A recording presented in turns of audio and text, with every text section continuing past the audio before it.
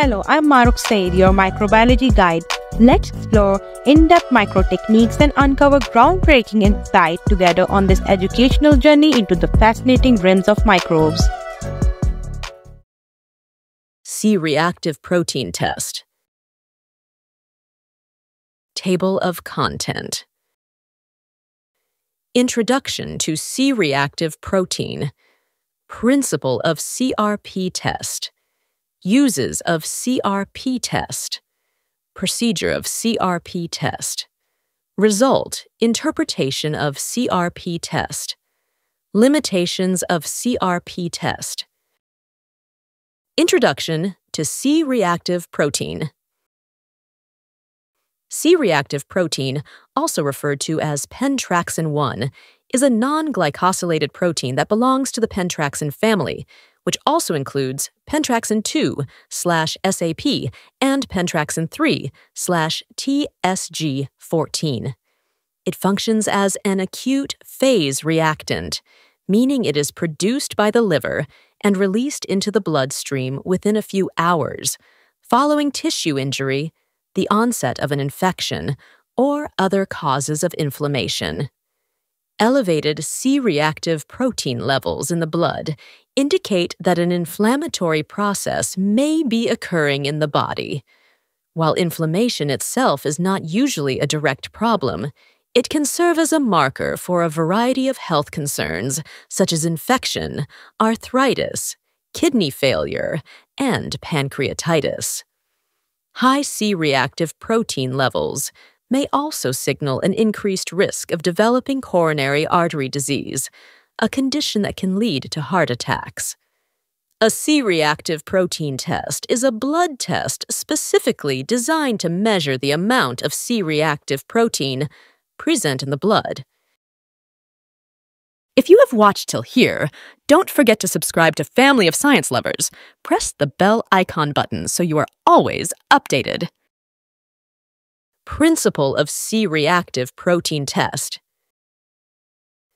The C-reactive protein test operates on the principle of latex agglutination. In this method, latex particles coated with human anti-C reactive protein antibodies are combined with the patient's serum. If C reactive proteins are present in the serum, they bind to the antibodies on the latex particles. This binding triggers a visible agglutination, clumping reaction. The agglutination typically occurs within two minutes, indicating the presence of C reactive protein in the sample. Uses of C reactive protein test. C reactive protein testing can be used to detect or monitor significant inflammation in individuals suspected of having acute conditions such as serious bacterial infections like sepsis, fungal infections, and pelvic inflammatory disease. It is valuable for monitoring patients with chronic inflammatory conditions to identify flare-ups and or assess the effectiveness of treatment. Examples include inflammatory bowel disease, certain forms of arthritis, and autoimmune diseases such as lupus or vasculitis measuring C reactive protein levels is useful for monitoring the response to therapy. The test is performed to check for infection after surgery, as C reactive protein levels typically rise within two to six hours post surgery and then decrease by the third day. If C reactive protein levels remain elevated beyond the third day after surgery, it may indicate the presence of an infection Procedure of C-reactive protein test.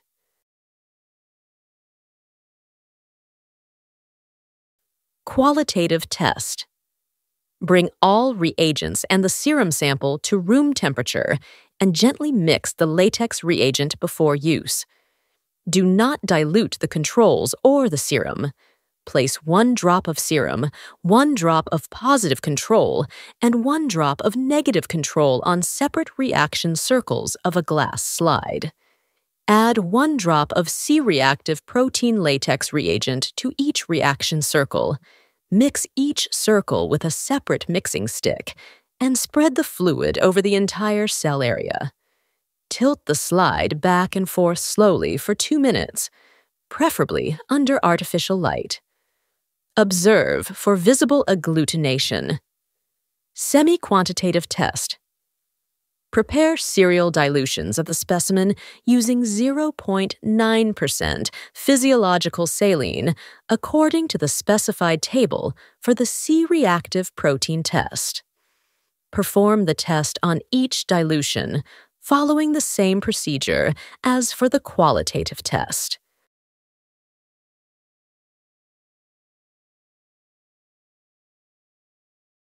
Result interpretation of C-reactive protein test. Positive. Presence of visible agglutination of latex particles, indicating that C-reactive protein is present at a significant and detectable level. Negative. No visible agglutination observed. Semi-quantitative test. Interpretation the C reactive protein titer is determined by identifying the last serum dilution that still shows visible agglutination. Calculation of titer. Where D is the highest serum dilution showing agglutination, and 7 micrograms per milliliter is the test's sensitivity. If you have watched till here, don't forget to subscribe to Family of Science Lovers. Press the bell icon button so you are always updated. Limitations of C-reactive protein test.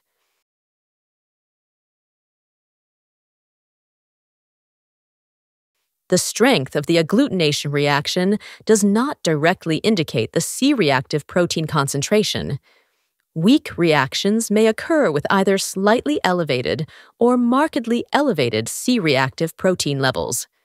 Antigen excess, prozone phenomenon, can result in false negative results.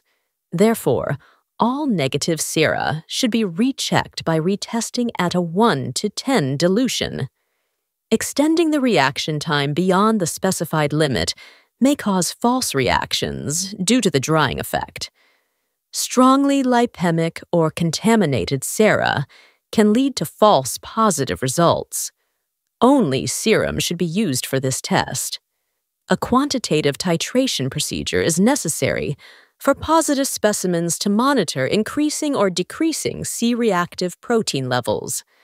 Patients with high titers of rheumatoid factors may produce positive results.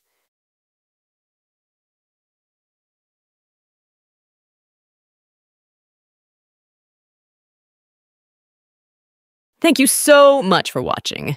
Don't forget to subscribe to my channel, press the bell icon button. Thank you!